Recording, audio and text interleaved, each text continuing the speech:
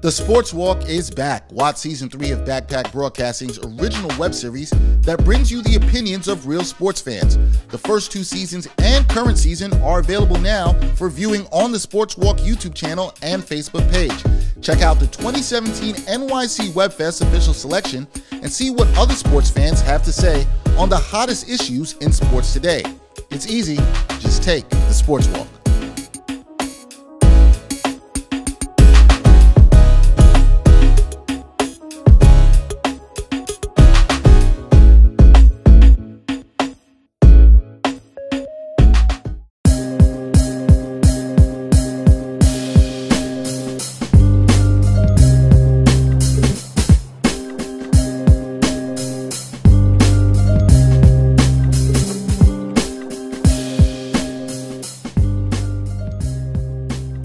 Podcast, episode 139. Dexter Henry, Bryan Fonseca. You know the deal, quarantining in place, staying safe, doing what we have to do. Uh, but we are back. We are going to get into things very quickly today because there is a lot going on in the world of sports. We actually were going to go in a different direction for this episode, but we had to pivot because so much is going on. Uh, before we get into it, Bryan, how you doing, man? You see the the Roy Jones Jr. background, and we're gonna get into this later. I have a Roy Jones Jr. one. You have Mike Tyson one. I don't have this. I'm gonna say this at the front end. I don't have this because I'm necessarily rooting for Roy Jones Jr. in this fight. I have this because I want people to remember who he was just in the event if things go horribly, horribly wrong on September 12th, which is what we're gonna talk about because I have a lot of concerns uh, for that fight. Well, and, and and and boxing in a way can be a sort of theme for this episode of this podcast because I like to start off with a great quote, a quote that I absolutely positively love. I apply to everything in my life, and I feel like more people should apply to things around this pandemic. And that quote comes from the guy that's behind me. If you're watching this podcast, Mike Tyson, uh, one of my favorite fighters growing up. And Mike Tyson famously said, I had a quote that said, Everybody has a plan until they get punched in the face. And sometimes, as we've learned in things throughout this COVID pandemic, some people don't have a plan. Some people don't want to act like they have a plan, or their plan is shitty. And we've seen we've we've we, we've seen this happen time and time again. Now, I've referred to this in the last couple of podcasts, and I, again, listening to this podcast, I would recommend anybody if you've missed this podcast that we did a couple podcasts ago with our, our colleague and friend Jane McManus, a columnist from the Daily News, wrote a great article weeks ago about why she thought sports should not return. And, and quoted Mike Tyson. And quoted Mike Tyson in that too. Yes, she quoted in that episode. In that quote. episode, she quoted that. Yeah, and yeah. I think it's fair to bring it back to this to this episode. And at the time we are recording this, uh, as many people already know, the sports fans that listen to this podcast, we have seen uh, the WNBA has returned in a bubble. Mm-hmm. Major League Baseball has returned, uh, not in a bubble, and I had very much concerns about this. There still is a lot of chatter, Bryan, about football and college football returning, which I think is even mm-hmm. more ridiculous than baseball returning. Yeah, you should say like playoffs, college, like it's yeah. like it, it's it's crazy, right? And baseball at the time of us recording this podcast will be on its fourth night of play. Most teams have at least already played three games, and we have a situation. Things got real really quick. Now, before we get into all this and everything that's happened, uh, Bryan, I don't know how you felt about baseball restarting in terms of the other sports. I think we all felt that sports probably shouldn't restart, but we thought the NBA had a better chance because they were in a bubble. What were your thoughts on baseball in, in terms of the sport it is and possibly restarting?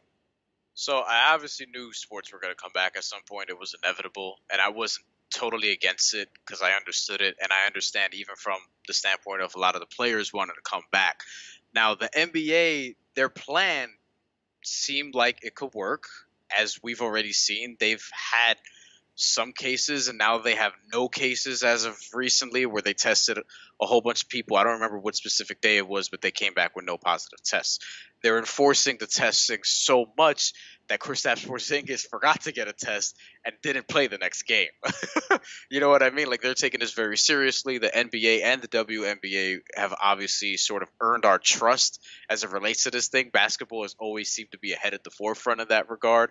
Where the NBA, they're in a bubble, obviously in Orlando, and um, the women are in IMG Academy, I think in Bradenton, Florida, and their season started Saturday. I was watching some of those games before I had to, yep, you know, make some, yeah, make some moves responsibly with the mask, of course, uh, social distancing and all that. But with Major League Baseball, um, when I heard that, because I, I was trying to figure this out, because I, you know, I was doing some research, and this was right before the season was starting, because it just kind of crept up on me, and then I was like, wait, so they're they're actually going to just be flying to Atlanta, Miami, New York. Toronto can't play in Canada because Canada's like, get the hell out of here. So they're going to play in Buffalo, which is obsessively the same thing. Um, you know, Pittsburgh, and they're gonna fl- they're just gonna fly around and play, I guess, within their divisions, but they're still gonna be flying. Now, granted, teams have private jets, so part of me is like, I mean, maybe this will work in some instances, but you're gonna have a situation inevitably in a place like maybe Florida, maybe Arizona, but one of these COVID hotbed places where there's going to be a lot of cases, and we're seeing that now. Unsurprisingly, with the Miami Marlins, which you know bad things seem to happen to all the time, but you know for it to happen so early in the season, it obviously sucks for baseball. But there's a lot of "I told you so" that people could say here, being against like the plan because it didn't it didn't appear that MLB and you know football you know it doesn't appear that they have plans. It doesn't appear that they really know what they're going to do. Whereas the NBA, we were getting reports for a long time before they finally thought about something and was like, all right, we're going to do this bubble situation. It's going to be a campus. We're going to put this, this, this, and this, and we're going to have, you know, like the NBA actually thought of something. WNBA actually thought of something.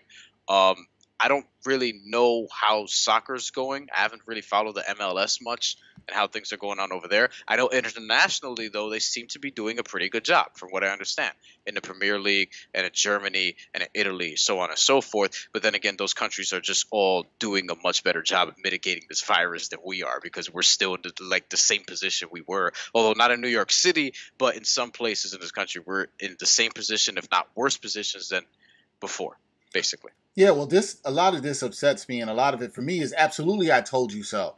I mean, how did we think this was going to work? And I, I, was talking with my my cousin who's a doctor uh, in Atlanta, and she's telling me about how the hospitals are slammed and everything down there. And we're all, she's also a big baseball fan, and we're talking about the Mets the other day, and how we feel conflicted watching this because we know that these players might not be safe.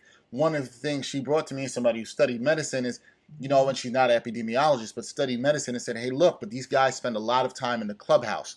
They spend a lot of time in the dugout. I was uh, the week before the season started. I was at Citi Field to watch a Mets workout and practice and inter squad game, and I saw some of the things that was being done. And and and but yeah, I was like, yeah, the guys are still in the dugout, and that was a concern for, concern for me. So I'm not surprised at all this because while baseball is a sport where most of the players, when on the field, when you're playing defense and pitching, when on the field, yes, you can be socially distant, but in that dugout, in the clubhouse, a lot of time is together, traveling together, as you brought up, Bryan. These were the concerns for me. Let's also give a shout out to Canada. Shout out to Canada for doing the right thing by its citizens here. And not, let's just keep it real. With all this stuff around sports coming back in this country, it's been about the money. It's greed. Oh, a lot, yeah. a lot of these organizations have not shown to care about the health of the players. Now, the NBA has tried to do it the right way even Dr. Fauci has said if you're going to try to bring sports back, this is the best way you can do it. Trying yeah. to do it in a bubble with the precautions that the NBA has done. A lot of people, from what you hear on the inside, colleagues you know who are down there are saying, hey, they're doing a good job. This is very strict. This is very thorough with what they're doing. Does that mean an outbreak can't happen? No. But what we're saying is they tried to have something self contained. Now, baseball couldn't do that because Florida and Arizona, the places where they have a lot of the stadiums for spring mm. training, those are the places where lo- local government governors there aren't doing the right thing, and citizens are protesting for their right to not wear masks, and a lot of people are in danger in those in those states. So then, with that being said, we can't be surprised at what we've seen in Miami and what we want to let people know with the Marlins, Miami Marlins, 13 of players, it's 11 players, two staff members have tested positive for the coronavirus. This is all within after their third game of the season. So then they had to cancel two games. The Marlins and Orioles were supposed to play in starting uh, Monday of this week when you're listening to this podcast down in Miami. That's that that game, the first game, which was supposed to be Monday, that's been canceled. The Yankees Phillies were all supposed to start a series in Philadelphia. That also has been canceled because the Phillies had recently played the Marlins. And I think it's interesting, Bryan. We we don't know this yet at the time recording this podcast, although I've been looking for hmm. information and I haven't seen anything yet. Is hmm. that how many Phillies players potentially could have been infected? The way you play teams, other teams so quickly in the MLB and the travel, as you mentioned, is what makes it dangerous. But kudos to the, the Blue Jays in Canada for saying, no, hmm. well, really Canada and their Minister of Health for saying, no, we're not going to have American teams where you guys are handling this virus horribly come into our country and have all this travel. They're gonna we're gonna put, I'm paraquoting here, the safety of our citizens first. And that's exactly what what should be done. But a lot of this is I told you so. And now it's on Major League Baseball to say something. We have waited all day before we recorded this podcast on Monday, and we have heard nothing yet from Commissioner Rob Manfred. Nothing. nothing, Nothing at all. What so so far, and that's absolutely despicable. And he has to speak. He's got to silence. There's a lot of critics around this. There's a lot of things going on. I want to I want to read a tweet from David Price, uh, pitcher for the Los Angeles Dodgers, who we all got to remember decided not to play this season because he was concerned about his safety, because he didn't want to put himself at risk. And you know what David Price is sitting back and doing? I told you so. That's yeah. exactly that's exactly what he's doing. David Price had this to say. He said, "Now we really, in all caps, get to see if MLB is going to put players' health first. Remember when Manfred said players' health was paramount? Part of the reason I'm at home right now is because players' health wasn't being put first. I can see that hasn't changed. Hey, He's not wrong here.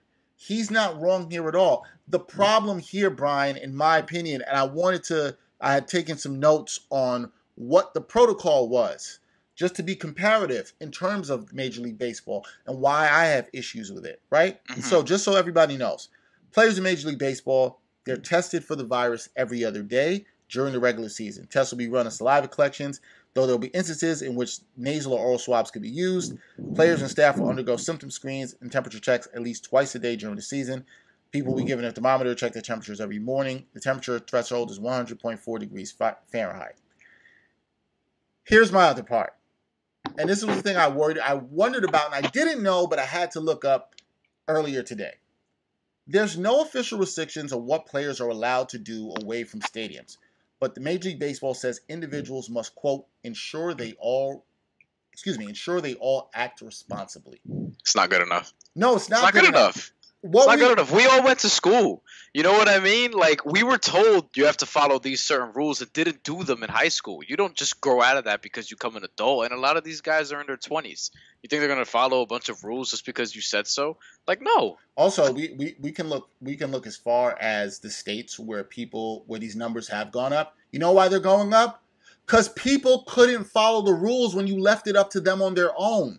You yeah. people couldn't simply say, "Hey, you know what? Put on a mask to keep other people safe. Look at the states, Arizona, Georgia, Florida, and ask yourself what the people are doing there when left up onto their own by local governments, right? N- nothing. N- they're not doing it. No, I cannot trust and ensure that people are going to do the right thing in a pandemic. If, if anything we've learned from the pandemic, it's that. We can't yeah. ensure we can't ensure that. And my problem, Bryan, with Major League Baseball before we move on is it's not enough to just test, right? It's not enough to just when you find out somebody has this disease to then quarantine them. That's all reactive. How are you being proactive? It's fair to question has Major League Baseball been proactive at all in this? Right. What have they really been doing to protect the players, right? Some people will say, well, they're doing some of the stuff you said before. That's all testing. You got to prevent people from being able to get it. It does matter what they do when they leave the ballpark. These men, some of them go home to girlfriends, wives, kids, moms, dads, whoever, Multiple wives, Mul- yeah. what what mistresses, whoever they're seeing, right? You don't know where they're going. You're just going to ensure that they do the right thing. You don't know if some person, when they go to Atlanta or Chicago, wherever, Milwaukee, wherever, I mean, how they're moving in those spaces or what they're doing. And then they come back into the clubhouse. And let's say Bryan's my teammate, and Bryan's been the one who's been chilling in his room, playing his PlayStation, not going out there and really trying to stay safe and socially distant. But I'm the person that's been hitting the town, still trying to hit these bars, still mm-hmm. trying to see what the action is down on whatever street. Yeah. And now I bring something back to you. How am I, I, I'm responsible for that, and it is responsible yeah. on the the leadership of the MLB to protect the players, and they haven't done this. Now I understand why they couldn't have a bubble because Florida and Arizona, but at the same time, where has Major League Baseball been proactive? Please show me. Please show me where they've been proactive in taking care of the players who, for a majority of time during a game, are pretty tight. I know they've expanded the, the dugouts and built things along the first and third base line so players can go into, but the players are still too close. It, it, it's just still too much. They spend a lot of time in the clubhouse, as I said. I told you so. Now, yeah. baseball has gotten punched in the face. Yeah. And and in my opinion, they didn't really have a plan. Yeah, I agree. I, I have nothing else to add. I don't. I, I if you ask me if we're gonna see playoffs or World Series, I don't think we're probably gonna see any of that this year. You know what I mean? At this rate, I have no idea what's going to happen because again, Rob Manfred is out here trying to get this money, so we really don't know. But it's it's it's probably likely that we see baseball stop in August or something like that if they even want to get that far. But I don't know because I, I don't I don't know because greed is obviously run rampant on this country. I actually thought of something that I'm going to have for my one time for your mind later surrounding that. But yeah, I just don't know what to sort of predict. But yeah, this is an I told you so moment for baseball. And, you know, we're going to be watching the NFL very closely because they're going to be up to bat soon and they don't seem to have much of a plan either. And the players do want to play, but they also want to ensure that the NFL is taking the proper precautions like the NBA is at least trying to do. Well, you want to talk about getting punched in the face? If they try to play, I you can guarantee they'll really get punched in the face. That's another topic we're gonna get to into into at a later podcast. But I have no idea how they of all sports, football of all sports, can can can get this done. Traveling with this is dangerous, folks. Um, I have limited my travel for work, so I want to put myself out there on that. I have no instance of traveling anytime soon, no desire to want to travel like that anytime soon to put myself more at risk, especially coming from New York. And it's not yeah. fair for me to put other people at risk because it's not just about what I can catch, but it's about what I even asymptomatically potentially can spread. And yeah, so that that's my bigger concern too, because yeah, because the we're we're we're honestly very lucky that the death toll has gotten like it, it, the death rate rather not the death toll, but the death rate is actually not as high as it could be or once was it appears. So we're actually very lucky for that because this could obviously even be a lot worse than it is, but it's still shitty. it was still bad. Yeah, man. It, I mean? it, it is. Look, you got to have a plan. Right now, baseball to punch in the face. We'll see what they're going to do.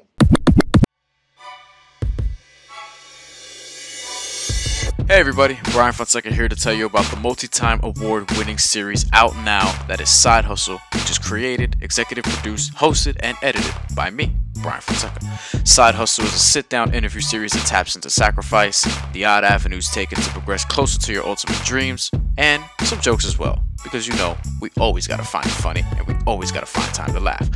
Side Hustle has been named to the best TV and web series category at several different film festivals, including the 2020 International New York Film Festival, the New York Movie Awards, and a host of others. Be sure to watch season one in full right now on either bryanfonseca.net or youtube.com slash bryanfonseca. Bryan with a Y, remember. All eight episodes, trailers, teasers, and promo are free to watch, and the series as a whole is approximately two hours long. Everyone has a story, everyone has a side hustle. Be sure to watch season one, out now.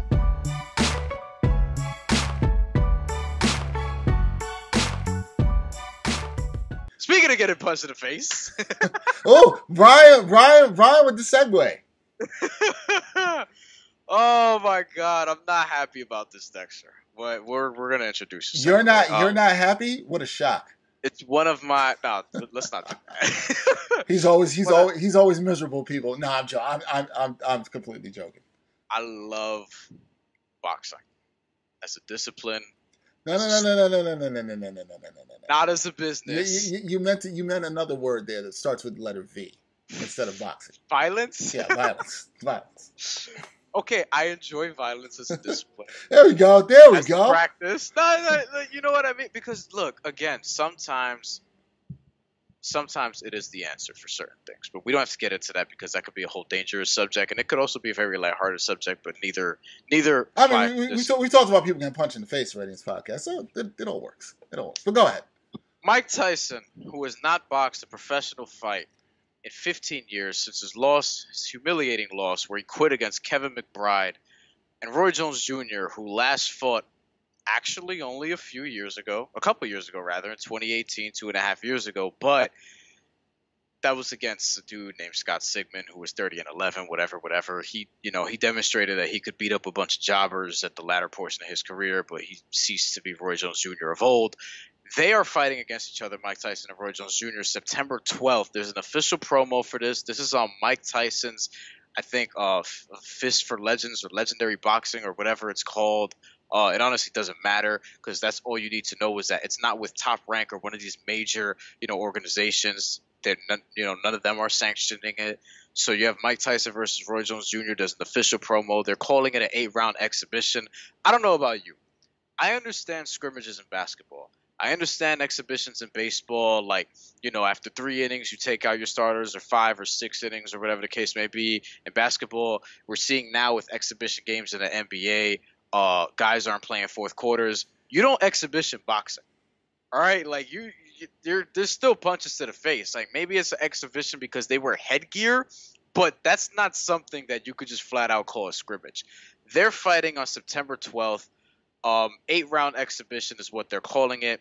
Mike Tyson, again, who has not fought in 15 years, but looks to be in amazing shape for somebody who is, I believe, 54 years old now and has a pretty good podcast. I don't know if you guys have heard of that, uh, Hot Boxing with Mike Tyson, but it's it's interesting because I've heard him on there talk about like he's at peace now. He smokes a lot of weed. He's tranquil. This, this, and that. But at the same time, like there's been times where he feels like he needs to release that that sort of inner inner dog that he still has in him after all these years. And Roy Jones Jr., who really, totally, honestly should have stopped boxing 11 years ago professionally.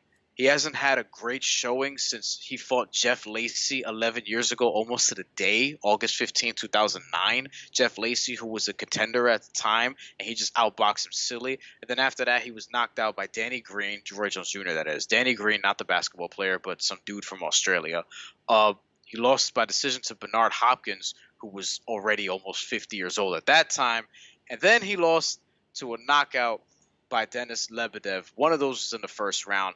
And the thing with Roy Jones Jr. is that he also he, when he gets knocked out, he doesn't just get knocked out. like he looks like he's gonna die sometimes. Like the Antonio Tarver one was bad. Oh yeah, I mean yeah. The Enzo Enzo Maccarinelli one was really bad. That's the one from a few years ago that went viral where you could hear his head. It sounded it sounded like you smacked someone's 40 inch ass. Like it was so loud, and you just heard it reverberate. I haven't done that, but okay. um, and then the other knockouts where he just hits the back of his head on concrete. Like I have a lot of concerns. Mike Tyson, obviously naturally bigger. Roy Jones Jr. His whole thing is his speed and his natural ability. But you're 51 years old now, dude, and you've been knocked out five times. Like that's serious, and I just I don't want to see it personally. I'm gonna see it, but I'm gonna be wincing the entire time. Why? Why? Why are you going to watch this? Why? Be- because it's just what like I'm a boxing guy. You know what I mean? I, I like, like I, I, I, feel like I have to see what's going on. You don't. If I'm gonna be informed about like, because we're gonna talk about it. I'm sure we're gonna talk about Here's it. Here's the thing. I'm not gonna watch it. I'm, I'm, I'm I am not supporting that nonsense. You, you think you're gonna? Because think about it. What, what, else are you gonna watch? There ain't gonna be no college football that day. That's cool, man. I'll find. Probably I'll, won't be no baseball. I don't watch college football like that anyway. Uh, probably won't be any baseball because I'll probably get shut down. Uh, the NBA probably will, hopefully will still be going on, The WNBA will still be going on. I this to me, I'm so see that's my problem, Ryan. If you're so disappointed, don't support it. Don't support this nonsense. You don't have to look at the train wreck. This is a train wreck. This is Mike Tyson, who I love from Brooklyn, love the quote, all that stuff. Great fighter. Roy Jones was a great fighter.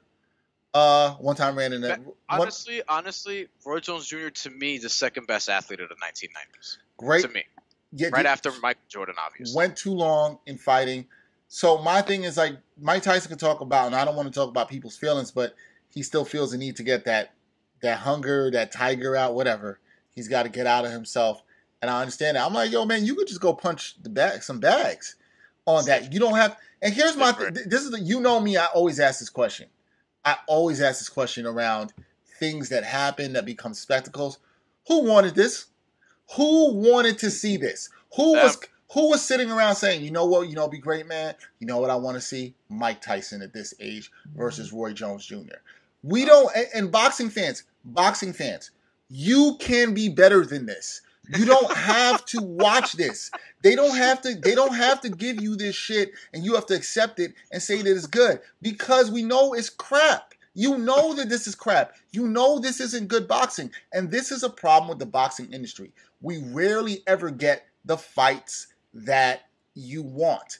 And then people have this thing about trying to make them when these dudes are beat well past their prime. Does any of us want to watch athletes well past their prime play? What's next? We're going to watch Michael Jordan and Charles Barkley play one on one? No, I don't want to see that. Why I, do you want now, granted, that would be be- that would be better. It would be. It's, it's Charles Barkley probably wouldn't have been the guy I would have used there. You know. but saying? I just, I just look. It would be better, but I still don't want to see it, man. And we, the thing about watching these athletes is you like watching these athletes when they're in their prime and they're great. And I want to still remember remember them like that. And like Bryan said, that's why Bryan has a picture up of Roy Jones behind him for this podcast, and I got a picture of the great Iron Mike Tyson behind me for this podcast, so you can remember them how they were. You don't have to see this of them in the beyond. This is not even the twilight of the career.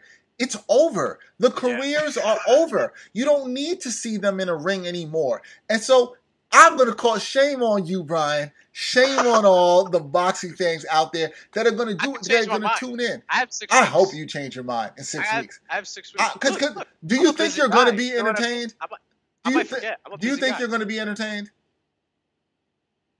No, I think I'm going to be repulsed the whole time, man. So you, because, so you, because I'm looking at it, I'm like, with me, it's more so Roy Jones Jr. than Mike Tyson. I think it, maybe it's because Mike Tyson appears to be in physical shape, and honestly, like while he's been stopped and knocked out, it was never like the way Roy Jones Jr.'s been knocked out, and that's my biggest concern here.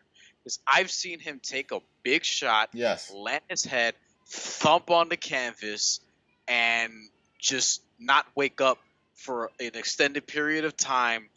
And this is somebody who, at one point in my life, was the best athlete I've probably ever seen. Let me ask you a couple, couple questions of things I do not know on this. That I this is serious questions. Okay, first question number one: How much are these guys getting paid? Has that been disclosed? Oh, I don't know. We have no idea how much these guys paid. No. We know no. they're doing this for the money. Two, um, where is this being broadcast? Because you said you're going to watch it. Who's broadcasting this? And is this pay per view? Because if it's pay per view, God bless you folks who are going to pay money. Bryan, you don't have to talk about the ways that you will see it. I understand that. We won't talk about that here. But the folks are going to pay money, God bless you. Is this pay per view? I can't hear you, Bryan. Your mic, your mic went out. There you go. You're back. That hasn't happened in a while. Actually, I've, I've, usually been better about this. Um, either that or some of our episodes have been a little bit morbid. Um, so no, but that's not true. So uh, they're actually doing this in Carson, California, which is uh, interesting. That's that's where a lot of big fights have gone down. Mm-hmm. Um, Ruslan Provodnikov and Timothy Bradley being one of the best ones. Um, there is supposed to be a 10 part docu series leading up to the bout by a platform called Triller, T R I L L E R. Shout out to them for getting that gig to shoot it. Not mad at them. Part docu series. I mean, look, if they approach Backpack Broadcasting to do that, I don't. I'm think shooting it. You as, know, yeah. As, as as stupid as I think it is, I'm shooting it. You know why? I hope you. I would see. Then I'd hope people watch it. I just hope people watch the docu series. That's it. Just watch the docu series. I'm interested in that. I'm interested in the docu series. I legitimately am. Now, if I have to pay for it to watch it, I'm not going to watch I'm not, it. I'm, I'm not supporting any of this. I wanna, I do want to see. You know what else worried me too? What else worried me too is just watching the footage or whatever. Just Tyson just looks better. You know what I mean? He just looks sharper, and I look at him being like, I know he hasn't been knocked out in a long time, and Roy Jones Jr. is already pitting himself as an underdog. He's like, look, man, all I got is God on my side. You know what I'm saying? I'm like, dude, you're Roy Jones. Like, you shouldn't, be, you know, like you're you're Roy Jones. Except he's not that guy anymore. Neither is Tyson. And maybe maybe Roy Jones acknowledging that he knows. Well, Roy Jones better know he's not that guy anymore after the way he's been knocked out the last couple of times he stepped in the ring. I hope he would know that. Roy Jones Jr. last month uh, said that I've been trying to enjoy retirement, but people don't seem to want to let me retire. They keep calling me back that Mike wants to come back. They keep telling me that, and that I'd be a great opponent for Mike Tyson. I don't know if I buy that though. Look, Roy, Roy, Jones, why don't you just we be always wanted be honest, man? You you know what the bag is, and you want to get that bag. That's we what always, it's about. We always wanted to see it, but I would have preferred it back then. Shit, me too. We're about 2020. We're about 20, 18 years late on this one. Uh, Tyson is a hell of a specimen still. Uh, still a problem to deal with, but at the same time, life is life. You only live once, not according to Freddie Gibbs. Uh, you want to know what it's like. You go in there, you see it. You still got to see it. Yeah, you also there still you, you also can still get knocked out. You don't have to see it. I disagree. I disagree. You don't have to see it. You know what I mean? Like there are certain things that as you're growing up, you kind of know like how you feel about certain things, what you like, what you don't like, whatever the case may be, certain foods or whatever. Like, nah, there are certain things that I could see that I don't need to try in order to like it or not like it. Like I'm probably never gonna go horse racing in my life. You wow, know what I mean? Wait, go to a horse race or go on a race on a horse? On, on like on the like be a disc jockey. Why would you, you know not? Why would you not race on a horse? You you kind of have the height for it. Because I have balls. Like legitimately, that would hurt. You know what I'm saying? Yeah, like you, not, they, they, they they protect that. You'll be okay. You'll be okay. I'm also too. I'm too big for that. You're too heavy for it. You absolutely. Yeah, yeah, yeah. Like you not have, to say like you know I'm I'm a, I'm good. I'm in shape. Yeah, yeah. Now you got you got to be like like I I met Victor Espinoza that trainer a couple years ago and like he's a short dude. It's crazy because like his upper body he's like in shape but he's a yeah. light. He's a lighter dude. They're like you know flyweights in boxing. Yeah, yeah, yeah, like, yeah, yeah. He's in shape. He's an in shape guy, but like, he was a lighter. There's a weight class for that stuff. But yeah, back to the uh, yeah. I'm I'm.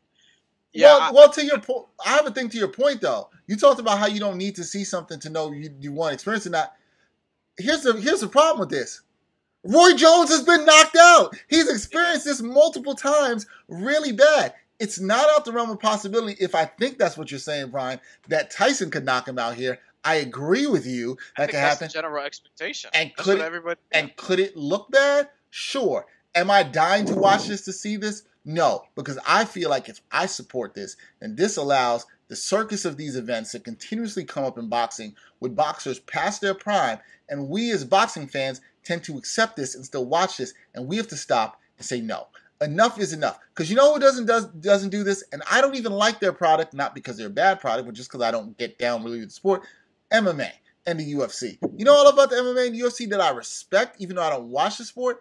People get the fights they want to see. People get to see the matches you want to see, and you know the names because they do a way better job of marketing their stars. Boxing, please wake up for this. That in 2020 we are still allowing, and this might be the biggest name fight of the year even though I think the best fight of the year will be upcoming Teofimo Lopez and um yes Lomachenko. But yeah. any but beyond that, we are still looking at this as this is something that could be sold that will really get people to want to watch. And that's why I'm saying shame on you boxing fans that are going to support this and watch this because this is why they keep giving us shitty stuff.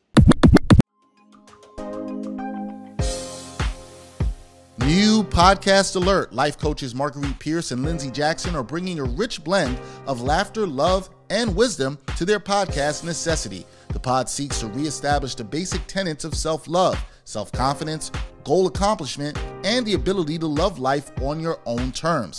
Necessity is available on all major podcast platforms, so grab a cup and listen up as two coaches are on a mission to shift perspective, one sip at a time.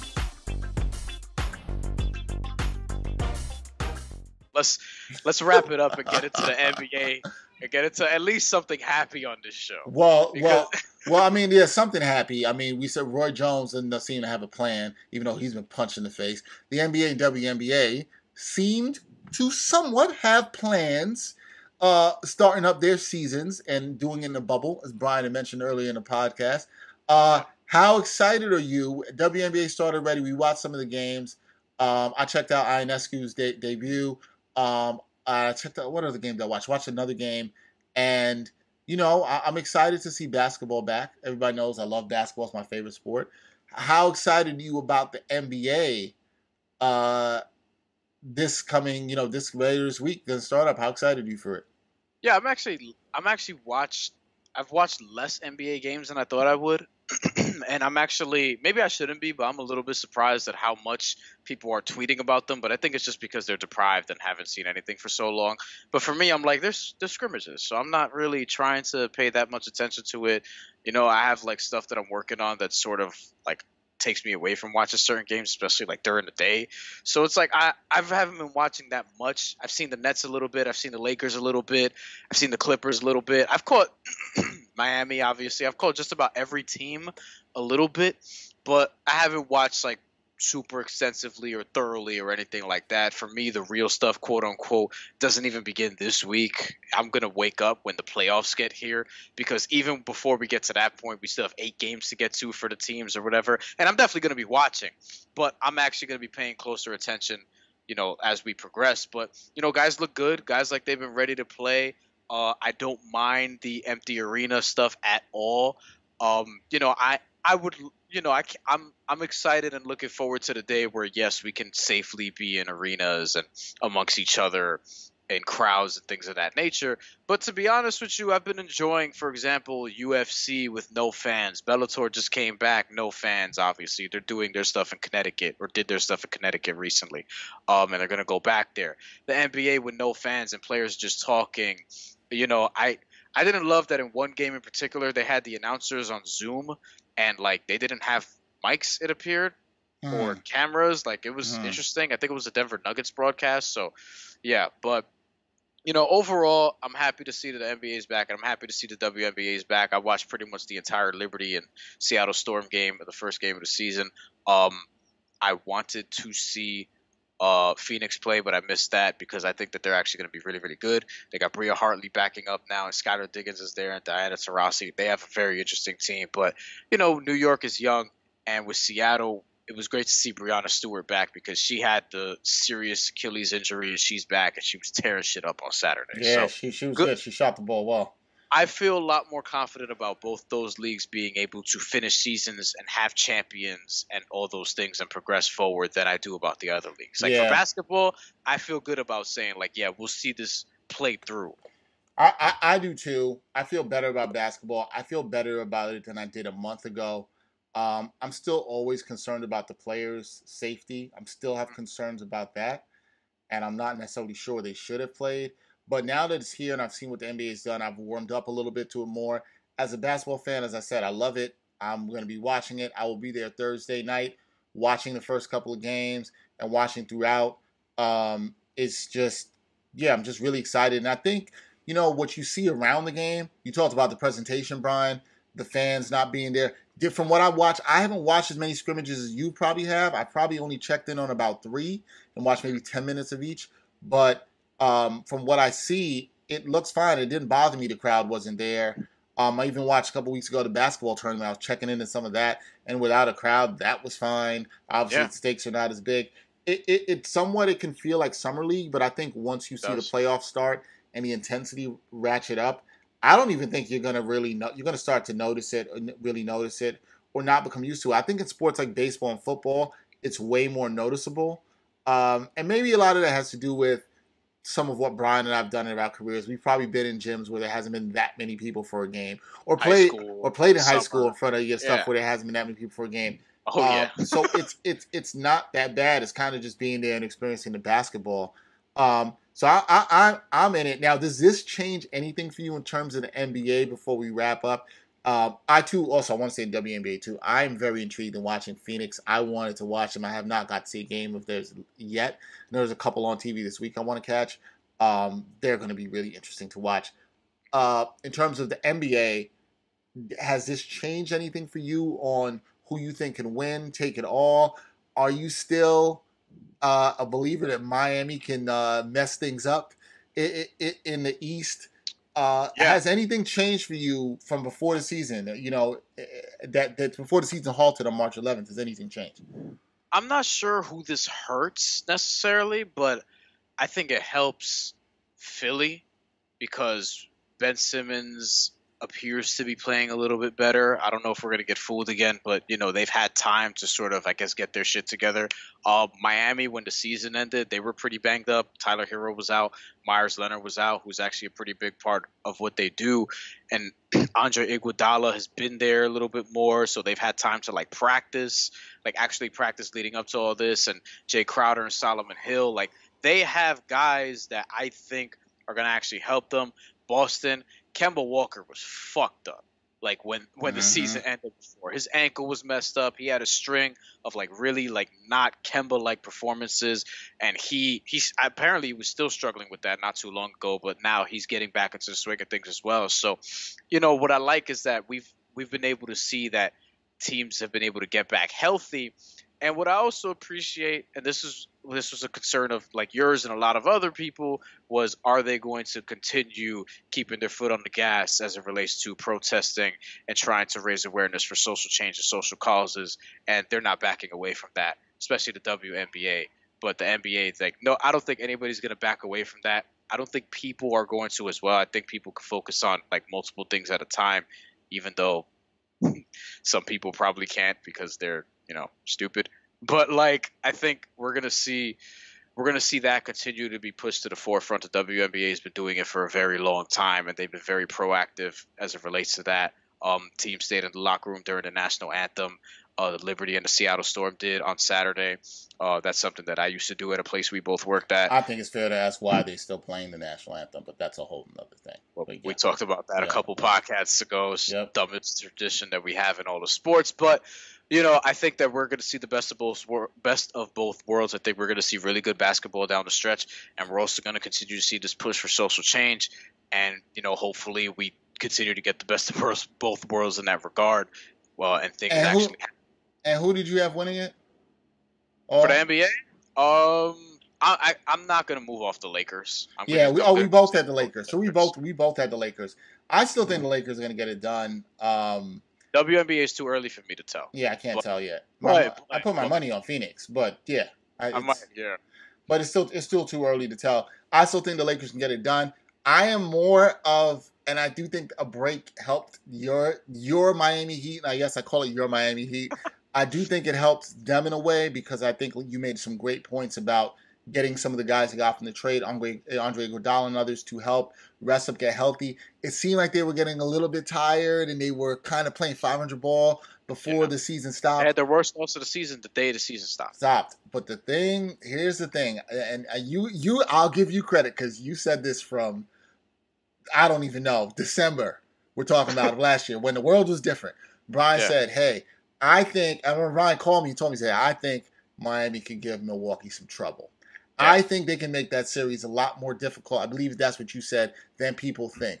And I remember the last time they played the Bucks, I was impressed because I watched that game and I really loved what Bam did against Giannis. And he's, he's back not, now too. He's back now too, and he's healthy, and he's he's got the length and the strength that can really bother Giannis. He's not going to stop him, but he can slow him down a little bit. And I think that could be an X factor. If you get Giannis frustrated and these other guys around him, we'll get more into this down the road as we get to playoffs, can't make shots, woo, woo. Miami, yeah. I can see the confidence growing for Miami. They're underdogs. They're that kind of scrappy team that Bryan likes and doesn't give a damn about what anybody else to say. They're led by Jimmy Butler, who Bryan loves. I like Jimmy Butler too. And uh, yeah, no, I, and I, you know what? It's funny that you mentioned that too. Last thing from me on the, I, I wish that the NBA would have let Jimmy Butler uh keep his because he wanted to wear no name. Yeah, on the back. I, I was uniform. really in support of that, man. Yeah, and he so it, when I first heard it, I was like, wait, what? Like I, I, like I didn't quite understand it right away. I heard his explanation three different times because I didn't understand. Like I had to like just keep replaying it, and then it hit me. I was like, oh, that makes so much sense. Like it was super profound. And then there was like 20, 25 other players reportedly like wanted to do the same thing after that because this whole thing was like, yo, if I'm not Jimmy Butler who I am today, I'm just another dude. Like I'm just another that black be, man. That could be died. You know I mean? Right. And I loved it. I loved the statement he was trying to make. I wish he had done it.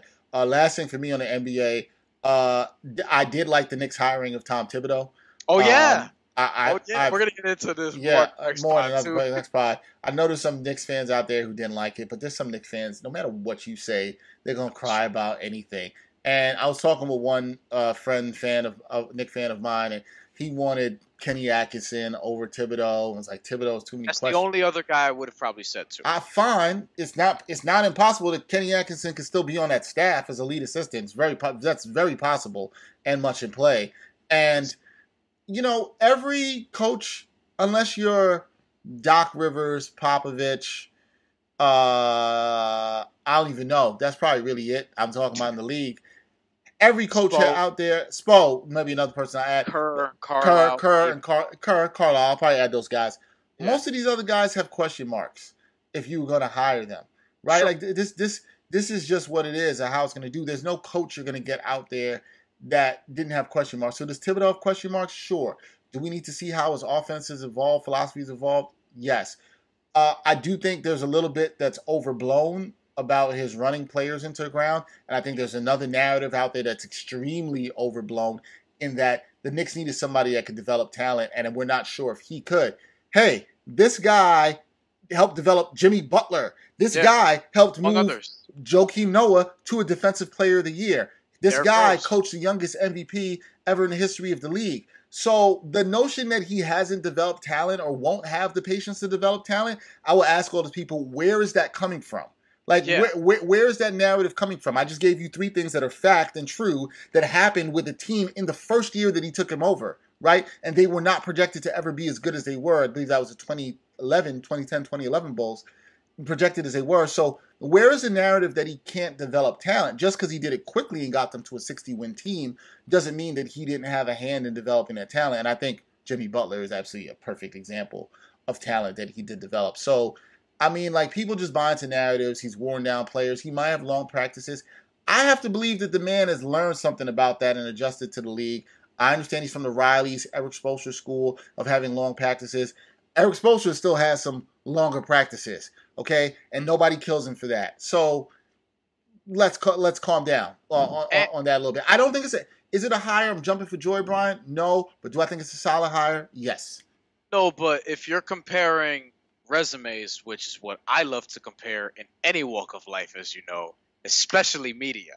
Uh, but if you're comparing resumes, Tom Thibodeau versus any other Knick coach since I don't know Jeff Van Gundy probably has the best resume. Yeah, right. So I, so I better than better than Kurt Rambis, Derek Fisher coming in, Don yep. Chaney back in the day. You know Mike what I'm D'Antoni saying? when he came in. Mike D'Antoni when he came in, even though he has a good resume now, like at bare minimum, you're getting a proven winner, and not a proven winner in the Phil Jackson sense because he was doing a totally different job description that he, you know, got famous right. for.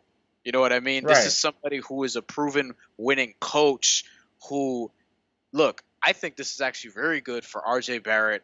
I think this could be very good or very bad for Kevin Knox. I hope it's I good for Kevin Knox because I'm down on yeah, Kevin Knox. I think this is going to be good for RJ Barrett, for Mitchell Robinson, and those kind of dudes. Like the Knicks fans love last year. They were saying that they wanted to see dogs on this team play hard. You know, they got Bobby Portis. They got guys who, you know, were Julius Randle, who were tough and this, this, and that. Now you have Tom Thibodeau so if you have some of these dudes and you really want to develop these this kind of team, if you're not gonna win, just be annoying.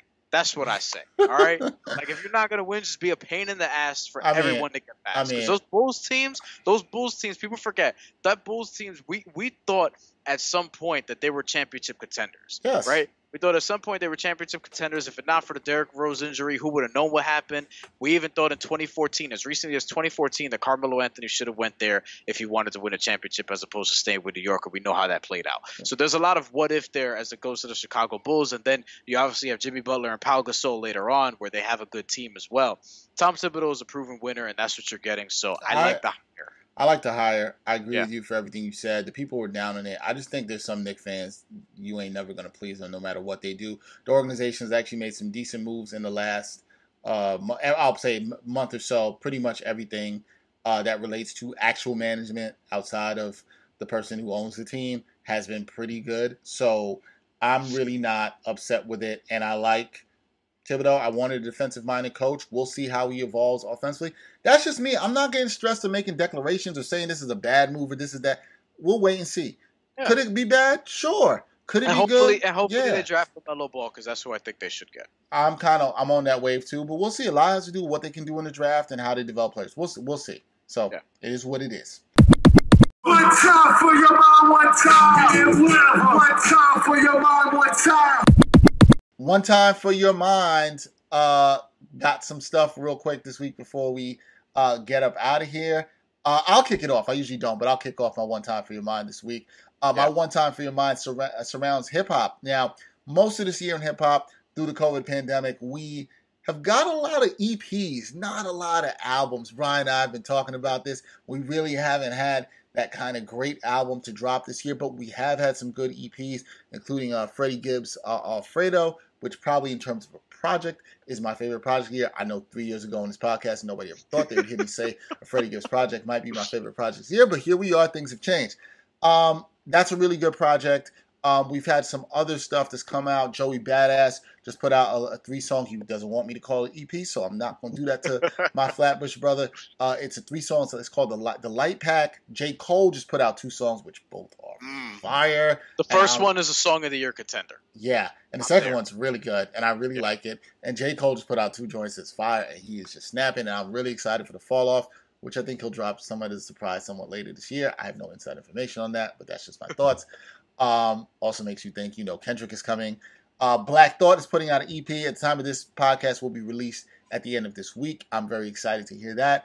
But we did get a surprise announcement uh, the previous week about an album coming out, and it was kind of a surprise because uh, it was announced about a week before it dropped. And Logic dropped his what is being called his final album because he says he is retiring.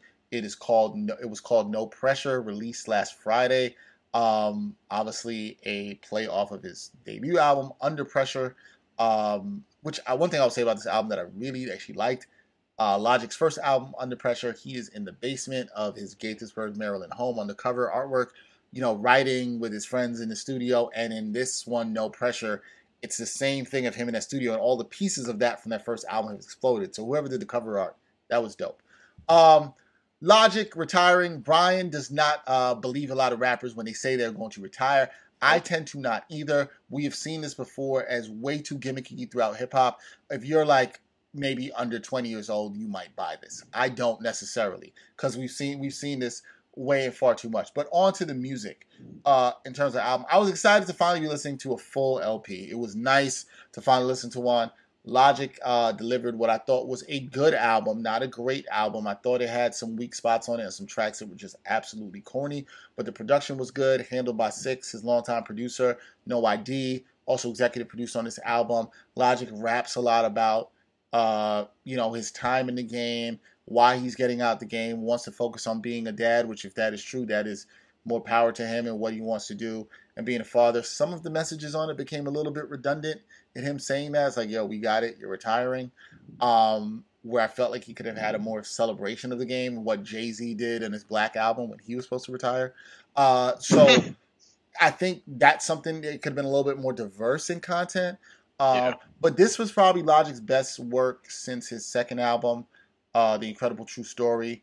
Um, I think it was his best work since then. I think there's some argument it could be better than that project, but it's solid. It's a solid listen. We've got that. But with all that being said, we need some albums, man. Some full length albums. J. Cole really got me excited for his. I'm excited for Joey Badass's album. But what I will, I am happy about in the last three weeks or so throughout July. July gave us some good hip hop music, and we should really be excited about that. I think it's been low, been lulls this year, but it gives me this feeling that maybe the fall it's going to heat up, and we're going to start to get some full length albums, some really good projects, and hopefully people have been cooking up some really good music because of this interesting time we're living in. Uh, with the COVID 19 pandemic and everything that's been going on politically with Black Lives Matter, I'm really intrigued at the messages that could be coming in hip hop surrounding this from a lot of artists. So it's going to be really interesting to see. But like, if you want to check out the Logic album, no pressure, pretty good. Uh, I guess that sounded like a hip hop update, but that's your hip hop update from the Ain't Hard to Tell podcast. uh, I have a very short one time for your mind. Uh, there was a video posted by the New York Times' opinion page on Twitter, um, which I saw reposted by a bunch of people. I was one of those that reposted it this morning. Um, so basically, what it was was the New York Times opinion page put together this video, getting the reactions from a lot of people who are younger. I guess uh, it would be fair to say millennials, and how they've handled COVID nineteen here in America. And all of these people are from like, you know, I think one's from Sudan, Jordan, New Zealand, uh, different parts of Europe, all over the world, and you know, they're in the in the video they're playing like you know uh, 45 and him saying that we're handling it the best and we're increasing testing, and then they're putting up all the data that obviously refutes everything he says, and then everyone from all over the world is sort of reacting to it in this taken aback, harsh way, and just you know being very, very, I guess disappointed slash impressed at how dumb America's been during this whole time of the coronavirus pandemic. So it's a very interesting video. I encourage people to check it out. Uh, New York Times posted it. It is called, well, it is captioned rather, from testing to lockdowns, we shared the facts and figures of America's handling of the coronavirus with young people across the globe. Let's just say they were not impressed. The video is around six minutes long uh, in total, and it is funny. I'm gonna have to check. I'm gonna have to check that out. That sounds yeah. that sounds interesting. I would love to see the reactions of people around the world. I think I read something earlier this year in the pandemic about people's perceptions of American Americans and their attitudes toward handling the pandemic. And this is way earlier. This is back in like April. So this uh-huh. might be interesting to see that at this time. This could be pretty interesting. So I'll have to check that out. All right, that's it for episode 139 of the Ain't Hard to Tell podcast. If you take anything from this podcast, the motto should absolutely be you need to have a plan because you might get punched in the face. If you got punched in the face many times, like Roy Jones Jr., maybe you knocked out. Maybe you should probably try to change things up. That just yeah. might be, be a suggestion. Uh, Thank you to all our subscribers, all our people who uh, support us on Patreon. Please continue to subscribe to the Ain't Hard to Tell podcast. Be sure to rate us, leave a review, check out our survey. Also, you can check out uh, how you can get a free connection uh, download with audio with Audible uh, to get an audiobook. So definitely check that out as well too. We're going to be protecting ourselves, quarantining, and not getting punched in the face. Word. For Bryan Fonseca, I'm Dexter Henry. Until next time, y'all. Peace.